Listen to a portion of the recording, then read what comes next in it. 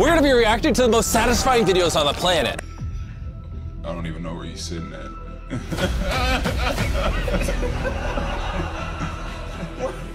National television. Cringe! And this guy can't remember how to park his car. This video is full of the funniest fails on the internet, starting with this principal trying to show off to her students.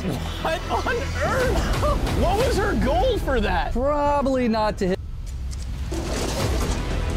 Oh no. Right on his face.